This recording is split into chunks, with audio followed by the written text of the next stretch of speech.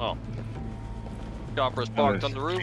Okay, I'm bringing this guy up with me, Sheep. I'm gonna tell him to go on the roof, get in the chopper. Get in the chopper! In the Wow. chopper! Okay, breaking this one out of prison.